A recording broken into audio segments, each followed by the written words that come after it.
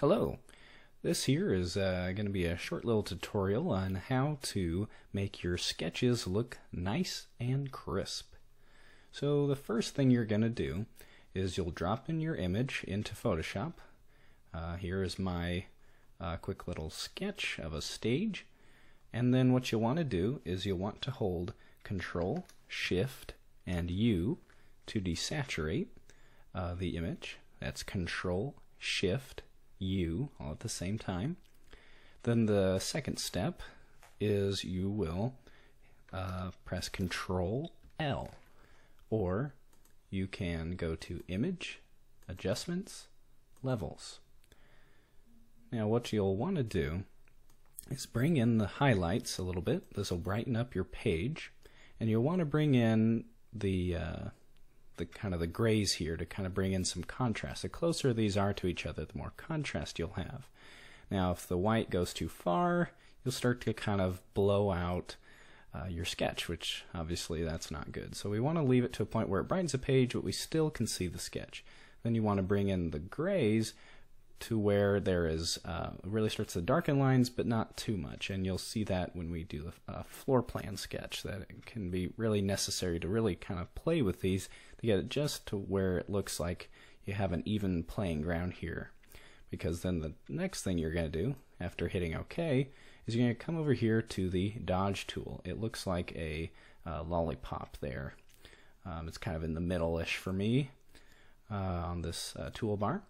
And then of course you can use the brackets to change the size of your brush and you can um, lower the hardness down. Not necessarily necessary, but um, I like to do that when I'm doing this sort of thing. And then the key thing here is the exposure. So I have it set to 11. I usually do you know 9 to 11 percent. Um, there's nothing scientific about those numbers. It's just keeping it kind of low like that really helps because then the last thing and the fun part is you are going to then kind of paint around to get rid of the noise. And so as you can see here, look at that. Nice crisp line drawings almost. And you can really level up your uh, sketching here, make it look nice and contrasty, really clean, and something like that. And it's just a lot nicer to look at. Now we'll try a floor plan sketch. So this is a kind of a low quality image. It's going to be kind of a tough one because as you can see I've got a lot of highlights from a lamp here and it's kind of getting a shadow here. You want a fairly um, uh, evenly lit um, surface of your drawing, um, lighting be even, otherwise it's going to get kind of hard doing that contrast. So again, Control Shift U. As you can see, it's uh, grayscale then Control L. And now I'm going to move this in to the point where it's lightening the page without losing too much information. To bring this in, but not too much, because you can see I'm really crunching that, and that's going to look kind of nasty here, and you'll see what I mean when we start using the dodge tool. So something like that might be usable. So now I already have my dodge tool selected and I'm going to start painting. And I'm going to kind of go around and around because there's a lot of noise here that's trying to work out here.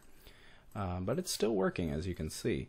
Um, and also part of the reason it's taking so long um, to remove the noise I'm going back and forth is because uh, I have it so low. Now if I were to bump this up to maybe 36 or something as you can see it really knocks out pretty fast there and for this, that might be necessary, but of course you risk losing information that you don't want to lose.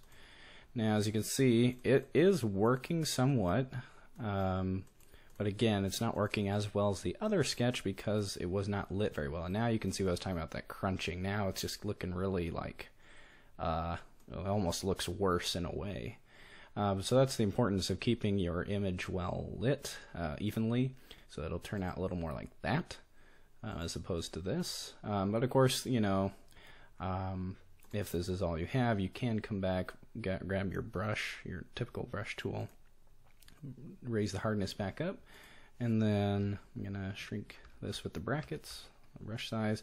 Click here, hold shift, click on the other end, and I can kind of clean up these lines here but again, that's just kind of not great. So uh, that's why it's important to have a good image to start with and then play with those sliders and then the dodge tool and then you'll have something that looks good.